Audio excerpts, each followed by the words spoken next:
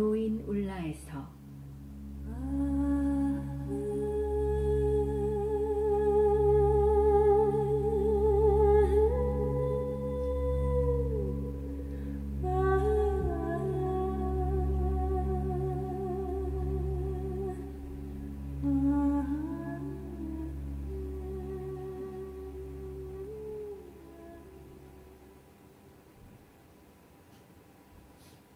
이제 곧 노인울라에 도착한다. 차장이 지나가면서 이렇게 말했으나 등을 불편하게 구부린 채 잠이 들어있던 나는 그 말을 듣지 못했다. 그리고 한 명의 승객이 내렸다. 배웅 나온 사람은 없었다. 창밖으로 손을 흔드는 사람도 없었다. 한동안 고요히 있던 기차는 육중한 몸체를 움직이며 다시 출발했다. 앞으로 전진하는 것이 아니라 왔던 방향으로 되돌아갔다. 노인울라는 가장 북쪽에 있는 역이기 때문이다. 기차에서 내린 단 한 명의 승객은 나였다. 그러므로 이것은 그 누구의 꿈도 아니다.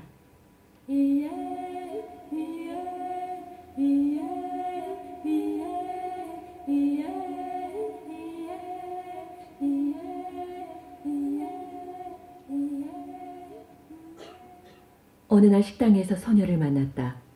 내 또래로 보이는 소녀는 긴 머리칼을 붉은 리본으로 묶고 있었다. 소녀가 시선을 눈앞에 고정시킨 채 두 손으로 허공을 더듬으며 움직였기 때문에 나는 소녀가 눈먼 아이라는 것을 알아차렸다. 그래서 나는 소녀 곁으로 다가갔다. 난 누나야. 네 아버지가 사령관일지도 모른다는 소문을 들었어.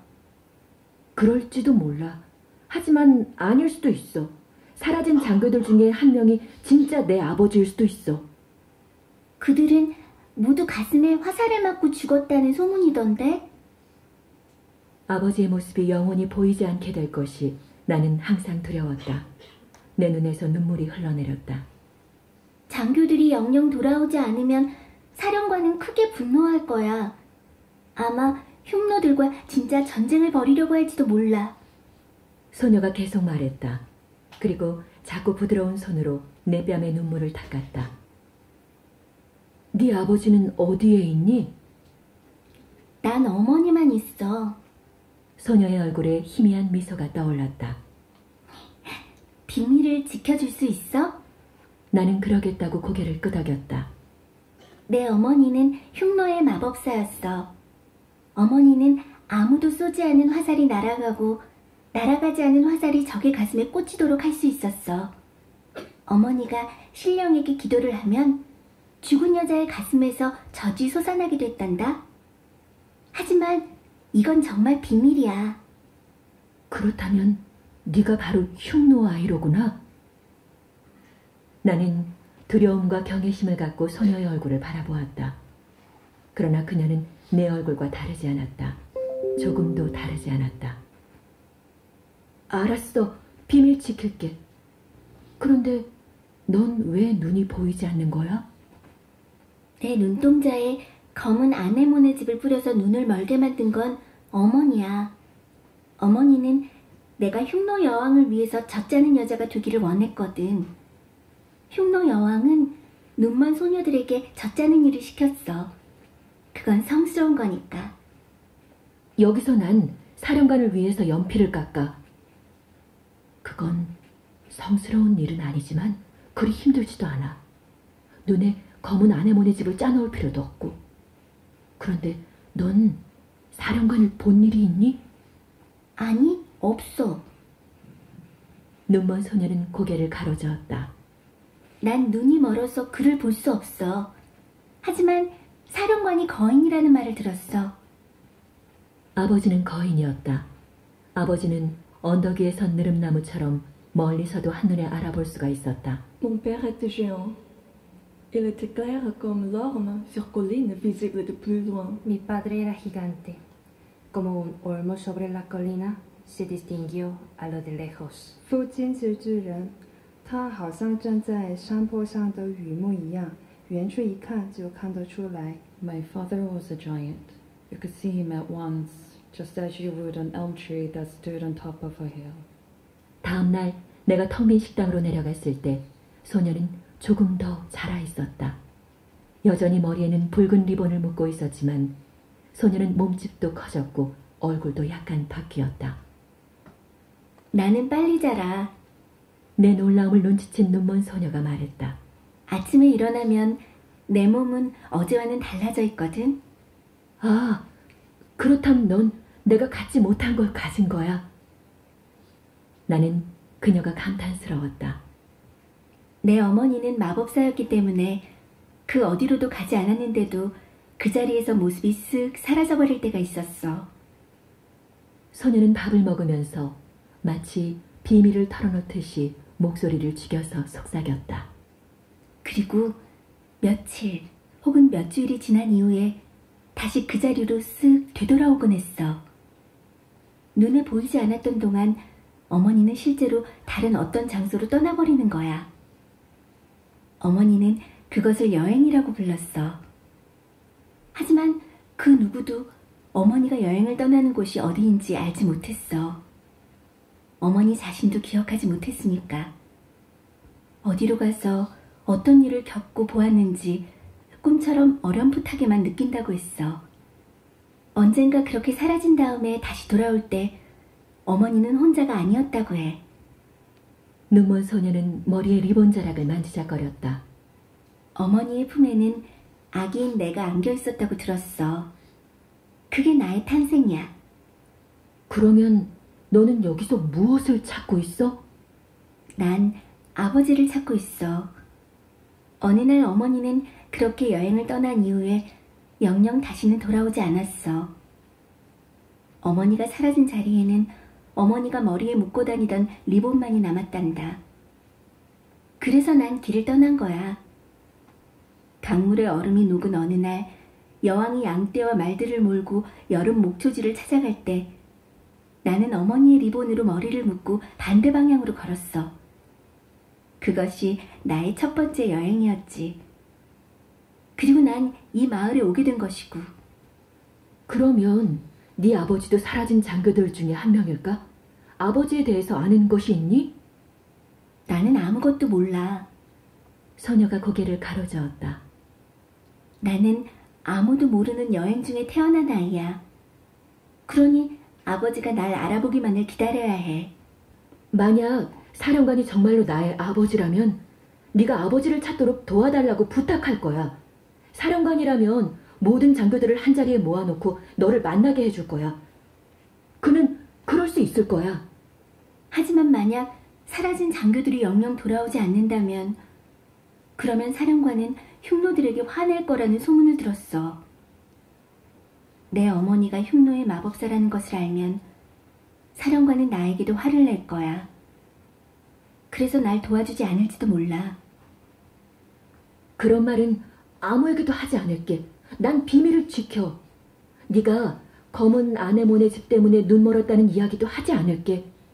네 얼굴만 보고 흉노 아이인지 아닌지 사람들은 알아차리지 못할 거야. 밥을 먹은 다음 우리는 건물 입구로 가서 눈 내리는 운동장을 내다보았다. 대기는 묽고 희박하며 환한 검정이었다. 멀리서 흐릿한 그림자처럼 반짝이며 군인들이 지나갔다. 군인들은 줄을 지어갔다. 그들은 긴 장화를 신고 흰 망토를 걸치고 있었다. 나는 나중에 군인과 결혼하고 싶어. 유리창에 코를 박은 채 보이지 않는 눈동자로 군인들의 발소리를 응시하면서 소녀가 말했다. 흰 망토를 걸치고 장화를 신은 군인. 검은 수염이 느릅나무 가지처럼 퍼지고 거인처럼 키가 큰 군인. 몸에서 느릅나무 냄새가 나는 군인. 하지만 만약 그렇게 되지 못한다면 소녀는 고개를 내 쪽으로 돌리고 손가락으로 내 얼굴과 내 입술을 만졌다. 만약 그렇게 되지 못한다면 그때는 너랑 결혼할래. 우리는 어느덧 밖으로 나와 눈을 맞으며 나란히 섰는데 발목이 깡충 드러나는 짧은 바지를 입은 소녀는 추위도 모른 채 눈 속에서 귀를 기울였다. 사령관이 돌아오는 소리가 들리니? 아니, 사령관이 돌아오는 소리는 없어. 멀리 눈 속으로 귀를 기울이던 소녀가 마치 어떤 비밀을 전하듯이 속삭이며 대답했다. 화살이 하나 날아가는 소리. 그리고 수령의 무덤에 순장당하기 전 코와 이마를 베인 소녀 노예들이 우는 소리가 들릴 뿐이야. 아버지는 거인이었다. 아버지는 언덕 위에 선 느릅나무처럼 환하고 멀리서도 한눈에 들어왔다. 아버지는 거인이었다. 아버지는 언덕의 선배름나무처럼 환하고 멀리서도 한눈에 들어왔다. 하지만 동시에 마치 아버지가 읽어주는 그림책 속의 이야기처럼 아버지는 아무것도 아니었다. 아버지는 눈보라 치는 밤흰 단열을 뒤집어 쓴 죽음 그는 나무였다. 혹은 물고 희박한 검정이었다. 그래서 나는 아버지의 모습이 영원히 보이지 않게 될 것이 항상 두려웠다. 与此同时，好像留给我的会不是不一样，它不是什么的，它是由雪豹的猎人围着白色糖渍的死鱼木，或者是很稀也很稀薄的黑色。 shrouded in 所以 white 我一直 blanket 很怕 on the 有一 night 天 blizzard. 他的样子会 It 看不 was a 见。 thin and murky blackness. I had always been afraid that I would never get to see my father.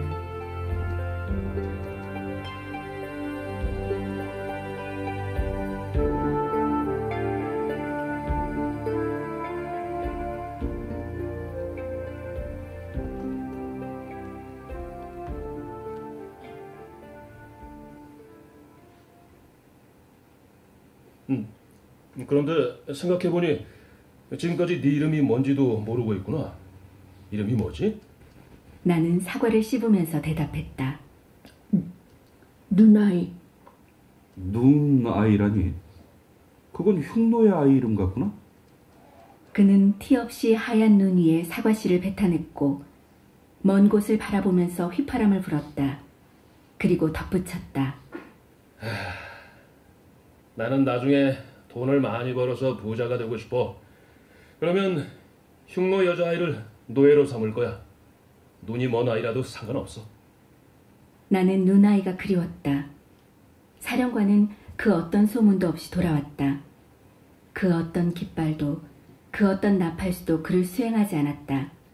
그 어떤 백마도 그를 태우지 않았다. 사령관이 돌아왔다. 내 심장이 내 의지를 거스르며 뛰었다. 마치 내 가슴에 속하지 않은 어떤 독자적인 별처럼 스스로 전멸하고 반짝였다. 그는 사라진 장교들을 찾아서 데려온 것일까? 나는 좀 더 자세히 사령관의 모습을 보기 위해서 유리창으로 다가갔다. 하지만 사령관은 혼자였다. 말은 가만히 서 있었고 사령관은 말 위에서 잠든 사람처럼 미동도 없었다. 말의 얼굴은 술록 모양의 뿔이 달린 나무 껍질 마스크로 덮여 있었다. 눈이 비스듬하게 휘몰아치며 내렸다. 나는 사령관의 가슴에 꽂힌 화살을 본 듯해서 소스라치게 놀랐다. 그러면 사령관은 사라진 장교들과 마찬가지로 흰 담요를 뒤집어 쓴 느릅나무가 되어 눈 속으로 사라져 버리리라. 그리하여 보이지 않게 되리라. 사령관이 사라져 버리기 전에 나는 문을 열고 밖으로 나갔다. 그리고 사령관을 향해 달려갔다. 거인 사령관은 느릅나무 껍질처럼 희미하고 엷었다. 그는 앞면과 뒷면만 있고 두께는 갖지 못한 그림자처럼 보였다. 바람이 불어올 때마다 그는 흰 담요가 되어 앞뒤로 펄럭거렸다. 담요 아래서 그의 창백한 얼굴이 드러날 때 그것은 누군가 종이에 그려놓은 죽은 눈 표범 조련사의 얼굴처럼 보였다. 눈송이는 흰 화살촉이 되어 그의 몸을 관통하면서 땅으로 낙하했다. 속에서 그를 불렀다. 나는 누나이를 찾아다녔다. 그날 하루 종일 누나이를 보지 못했다. 식당에 누나이는 없었다. 밤이 되었으므로 누나이는 아마 잠자리에 들었을 것이다. 그러나 나는 누나이가 잠드는 곳을 몰랐다. 마침내 내가 방으로 돌아오자 내 잠자리에는 놀랍게도 눈아이가 누워 있었다. 그 사이 눈아이의 몸이 더욱 커져서 거의 내 어머니처럼 보인다는 것. 그리고 완전히 드러낸 눈아이의 왼쪽 젖가슴에서 눈처럼 흰 젖이 흘러나오고 있다는 사실도 나를 크게 놀라게 하지는 못했다. 그만큼 내 슬픔은 무겁고 컸다. 누나야, 사령관이 돌아왔어. 눈아이는 보이지 않는 눈을 들어 나를 보았다. 그리고 말했다. 그거 잘 됐구나. 눈아이는 나를 안고 자신의 곁에 눕혔다. 그리고 우리는 몸을 밀착한 채 서로를 꼭 껴안았다. 나는 눈아이에게 소근거렸다. 그런데 말이야, 연필을 깎다가 문득 잠이 들었는데 꿈속에서 이상한 생각이 떠올랐어. 혹시 사령관이 내 아버지이면서 동시에 네 아버지일 수도 있을까? 그가 나를 알아보면서 동시에 너를 알아볼 수도 있을까? 난 너무 많이 자라버렸어. 이제는 더 이상 아이가 아니야. 설사 그가 내 아버지라 해도 그는 날 알아보지 못할 거야. 눈아이는 마치 비밀을 털어놓듯이 작은 소리로 내 귓가에 속삭였다. 그리고 내 손을 잡아 자신의 가슴으로 이끌었다. 봐, 내 가슴이 이렇게 커졌어. 나는 누나의 가슴에서 흘러나오는 미지근하고 고소하면서 비릿한 젖을 빨아먹었다. 그리고 스르르 잠이 들었다. 다음 날 아침 누군가 나를 가볍게 흔드는 바람에 잠에서 깨어났다. 가장 먼저 눈에 들어온 것은 책상에 가득 탄 연필이었다. 보관이 새로운 자루에 가득 든 연필을 책상 위로 쏟고 있었다. 어젯밤에 사령관이 돌아왔단다. 원정 중에 사용한 연필이 한 자루나 되는구나. 네 일이 더 바빠졌어. 누나이는 어디 있나요?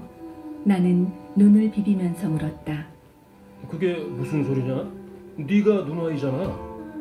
나도 누나이지만 누나이도 이름이 누나이예요. 어젯밤에 그 누나이가 여기서 잠들었단 말이에요. 알아듣질 못하겠네. 네가 아직도 잠이 덜 깼나 보구나. 나는 맨발로 복도를 지나 건물 입구까지 달려갔다. 그리고 유리창 너머로 눈이 가득 쌓인 운동장을 내다보았다. 희게 반짝이는 낮의 세상이 있었다. 하지만 사령관도 사령관의 말도 보이지 않았다. 운동장은 텅 비어 있었다. 어젯밤에 나는 꿈을 꾸었던 것일까? 문을 열고 나는 밖으로 나갔다. 그리고 누나이를 불렀다. 누나이야! 장교들이 왜 위험한 탐험으로 나갔는지 처음에는 아무도 몰랐지. 그들은 모두 죽었단다. 그들은 차례차례 흉노의 화살에 맞았어. 아무도 화살을 쏘지 않았고 아무도 날아오는 화살을 보지 못했단다. 고기가 떨리는 소리조차 들리지 않았어. 흉노 소녀가 그들을 향해서 다가왔어. 흉노 소녀는 목구멍으로 몸을 소리쳤어. 흉노 소녀의 소녀는 눈이 멀었고 그녀의 젖이 흘러나오고 흘러나오고 있었단다. 소녀의 몸은 몸에 난 털은 처럼 털처럼 까맸지. 소녀의 털은 느릅나무 가지처럼 가지처럼 뻗어나면서 자랐었어. 소녀는 흉노의 여자가 없어요. 소녀는 흉노의 작자는 아니야. 소녀는 소녀는 여왕의 아니야. 자녀야. 소녀는 소녀는 젖을 공과 결혼했으며 사냥의 사냥의 젖을 젖을 짜고 짜고 사냥을 결혼했어. 장교들이 왜 위험한 나갔는지 나갔는지 처음에는 몰랐지. 흉노 소녀의 흰 소녀의 흰 가슴에서 가슴에서 흰 떨어졌어. 떨어졌어. 장교들은 그것을 따라갔단다. 보이지 않는 날아왔어. 날아왔어. 죽은 장교들의 가슴에 화살이 꽂혔었지. 아, 나는 나중에 나중에 돈을 많이 벌어 돈을 많이 벌어 부자가 되고 싶어. 그러면 그러면 반드시 반드시 흉노 여자아이를 노예로 보낼 보낼 거야. 눈이 먼 눈이 아이라서 찾았어. 찾았어. 사령관은 사령관은 아들처럼 아들처럼 아끼던 아끼던 장교들이 장교들이 죽었어. 사령관은 사령관은 흉노의 해냈고 해냈고 흉노의 산내까지 들어갔어. 들어갔어. 사령관은 사령관은 공을 죽여서 공을 가족을 죽여서 가족을 먹였고 먹였고 사냥을 죽여서 가족을 죽여서 가족을 먹였고 먹였고 흉노의 느릅나무를 죽여서 가족을 먹였어. 그리고 마침내 마침내 흉노의 흉노의 마법사 소녀를 찾아냈지. 눈 위에 흰자들 그려서 그려서 장교들을 위한 위한 눈물을 눈물을 흉노의 흉노의 왕의 왕의 양의자 양의자 노예이지. 그러니 누나야, 너는 절대로 넌 뒤를 돌아보면 안 돼. 나는 뒤돌아보았다. 거기 누나이가 있었다. 군인들이 의자를 가져왔다. 군인들은 그녀를 의자 위에 올라가게 한 후 그녀의 머리를 교수대의 밧줄에 밀어 넣었고 노인울라 역의 역장이 의자를 빼서 역으로 가져갔다. 원래 역에는 의자가 하나 있었는데 사령관의 부하들이 가져가 버렸어. 누나이의 목이 불가능의 각도로 기울어지며 뚝 하고 뼈가 부러지는 소리가 들렸다. 작고 앙상한 상처투성이 맨발이 허공에 매달려 잠시 흔들렸다. 일곱 살 생일까지는 사내 아이로 사내 살지만. 일곱 살 생일이 지나면 살 너는 생일이 여자아이가 된다. 나쁜 여왕은 나쁜 여왕 어린 여자아이들을. 자라기 때문에 여왕은 여왕 여자아이들에게 검은 검은 아내몬의 아내몬의 집을 집을 짜는 짜는 돈 벌게 한 다음 저자는 저자는 소녀를 키우고 그래서 넌 그래서 머리를 사내아이처럼 짧게 하고 다녀야 해 사내아이처럼 바지를 입고 사내아이인 것처럼 사내아이인 것처럼 말해야 해. 하지만 일곱 살이 넘으면 이제 여왕에게 잡혀갈 위험이 사라진 셈이니 여자아이로 살아도 좋다. 그때부터 그때부터 네네 머리는 머리는 검고 네 고독이 네 가슴은 네 하얗게 커질 거야.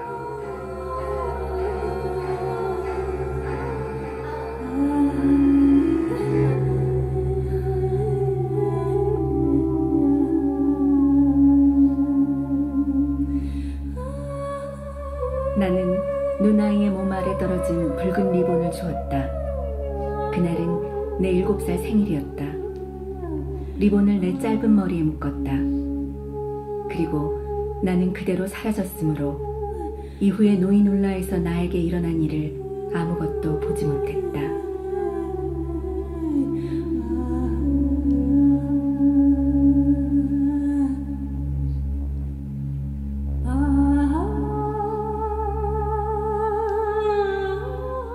출연 엄현정, 박소라, 김기철, 고성일, 우정 출연 독일어 베르너 프리치, 영어 백지수, 프랑스어 구효진, 스페인어 신민경, 중국어 이정주, 연출 최창근.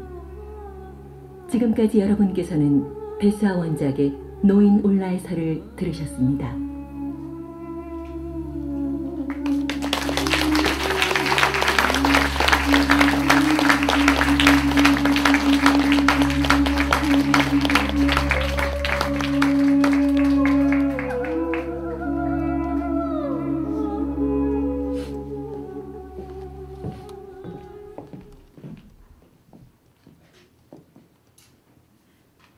노인 울라에서에 대하여 나는 2009년 몽골 알타이에 갔다. 어느 날 유목민들이 근처에 스키타이족의 무덤이 있다면서 우리를 그곳으로 데리고 갔다. 우리는 말을 타고 물살이 거센 차가운 강물을 건너서 갔다.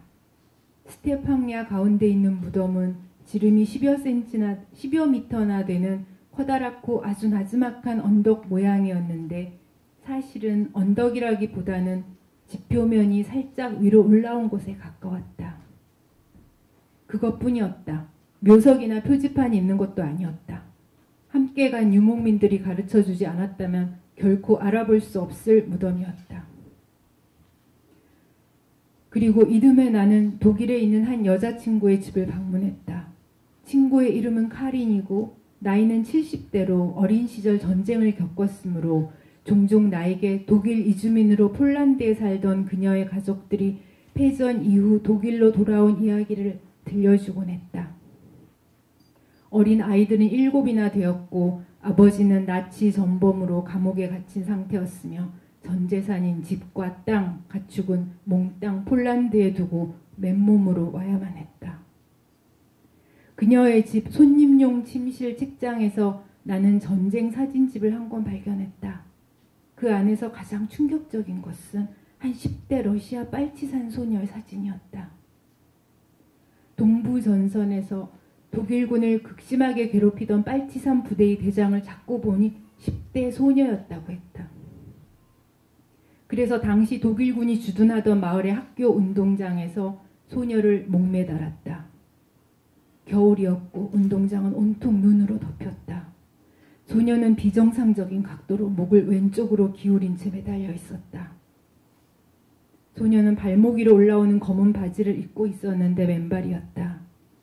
예외적으로 소녀의 얼굴을 클로즈업한 사진이 다음 페이지에 실려 있었다. 두 눈을 감은 소녀는 소름 끼칠 만큼 어여뻤다. 그녀는 목이 매달려 죽은 것이 아니라 마치 꿈을 꾸고 있는 장림 소녀 같았다. 사진 설명에는 당시 독일군과 러시아 빨치산들이 양측 모두 서로가 서로에게 극도로 잔인하게 굴었다. 고 적혀 있었다. 스키타이족이 유라시아 초원 서쪽을 차지하고 있을 때 그 동쪽에는 흉노족이 살았다. 실크로드를 통해서 문명의 핏줄이 동서로 이어지며 흐르는 동안 그 위쪽 황량한 스텝 초원의 역사는 길도 없이 문명도 없이 문자도 기록도 없이 흘러갔다. 나는 종종 내 조상들이 흉노의 땅에서 내려온 자들은 아닐까 생각하곤 했다. 한반도의 남쪽 고대 왕국에서도 흉노나 스키타이족과 마찬가지로 왕이 죽으면 처첩을 함께 파묻는 순장의 풍습이 있었다. 헤로도투스는 썼다. 스키타이족은 자신들이 마시는 젖을 짜기 위해 노예들을 모두 장님으로 만든다. 스키타이족은 자신들의 땅 북쪽에 있는 나라는 수많은 깃털이 날아다녀 볼 수도 없고 들어갈 수도 없다고 말한다. 대지도 대기도 깃털들로 가득 차 시야를 가리고 있기 때문이다. 헤로도투스의 해석에 의하면 이 흰 깃털은 눈이다. 펑펑 쏟아지는 눈은 깃털처럼 보인다. 한스 크리스천 안데르센은 이렇게 쏟아지는 눈송이를 살아있는 흰 닭이라고 표현했다. 2013년 나는 카프카의 일기와 편지 중에서 꿈에 관련한 글을 모아 편찬한 책 꿈을 번역하게 되었다. 편집자는 나에게 통상적인 역자 후기 대신에 짧은 단편 소설을 책 뒤에 싣는 것이 좋겠다고 제안했다. 꿈을 주제로 한 단편 소설 말이다. 그때 나는 몇 년 동안 내 머릿속을 맴돌던 이미지들의 이야기를 입히기로 했다. 그것은 아버지를 찾아 길을 떠나는 소녀의 짧은 이야기였다. 그렇게 해서 완성된 단편 눈 속에서 불타기 전 아이는 어떤 꿈을 꾸었나는 카프카 꿈의 역자 후기로 실렸다. 눈 속에서 불타기 전 아이는 어떤 꿈을 꾸었나? 그것이 길을 떠나기 전까지의 이야기라면 노인 울라에서는 길을 떠난 이후의 이야기이다. 눈 속에서 불타기 전 아이는 어떤 꿈을 꾸었나? 그것이 끝나는 지점에서 노인 울라에서는 시작한다. 주인공 소녀는 어디에선가부터 기차를 타고 다른 승객은 하나도 내리지 않는 가장 북쪽 역 노인 울라에 도착한다. 소설의 처음부터 독자들은 이것이 현실의 경계를 넘어선 이야기임을 알아차린다. 노인 울라는 몽골 북부의 구릉지대이며 흉노 왕족의 무덤이 발굴되었다. 몽골 스텝 황야 한가운데 있는 발굴지 노인 울라에는 기차역 따위는 없을 것이기 때문이다. 흉노는 기원을 전후하여 유라시아 초원의 동쪽에서 중국의 국경을 위협하던 유목민족이었다. 스키타이나 흉노는 현대인들이 아는 한 문자 기록을 남기지 않았다. 그래서 그들은 오직 정주민들이 남긴 기록물을 통해 우리에게 알려지고 있을 뿐이다. 헤로도투스의 저서에 그리고 중국의 역사서에 기록되는 방식으로 그들이 어디로 가버렸는지에 대해서 역사서는 가르쳐 주지 않았다. 그래서 나는 내 주인공을 기차에 태워 그곳으로 보내는 일이 도리어 더 쉬웠다. 나는 기억이 시작되기 이전 망각과 기억 사이 경계에 놓인 어린 시절을 무의식 혹은 전생 혹은 살아있는 꿈 혹은 아주 오래전 나와 연관이 있었던 얼굴을 모르는 여자로 설정하고 그와 관련한 주제로 몇몇 단편 소설을 쓰고 있었다. 노인 울라에서는 그 중 하나가 되었다. 마지막으로 번역가인 자넷이 이 이야기의 주인공이 하필이면 연필 깎는 아이가 된 이유에 대해 물어봤다. 나는 생각해 보았는데 그건 연필의 주인공인 사령관이 이 이야기를 기록하는 어딘가에 있는 보이지 않는 아버지이기 때문이다. 그는 헛되이 이 일을 기록하려고 애쓴다. 그는 수많은 연필을 허비하며 역사, 일기, 이야기를 기록하려고 애쓰는 지식인이자 학자, 사령관, 명령자, 문자의 지배자, 기억과 의식의 주인이다. 그러나 내 이야기는 사령관의 기록을 따라가지 않는다. 사령관은 역사를 쓰지만 나는 비밀과 전설의 이야기를 쓴다. 내 이야기는 글이 아니라 목소리이고 노래이다. 나는 이것이 글로 읽히는 것이 아니라 노래로 불리기를 남몰래 소망한다. 내 이야기는 문자로 기록되는 것의 뒤편으로 남몰래 흐른다. 그래서 사령관과 연필 깎는 아이는 느릅나무와 장님 소녀로 스쳐 지나가며 역사와 전설처럼 영영 서로 모르는 채로 남을 것이다.